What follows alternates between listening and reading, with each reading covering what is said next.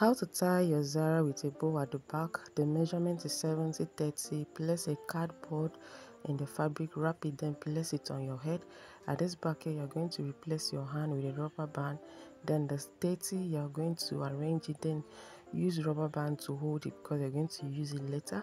Then the 70, you're going to fold in the edges, then wrap it from down, take it up, see the way I'm going to place it then the next thing i'm going to form a little plate then this 30 will take it up.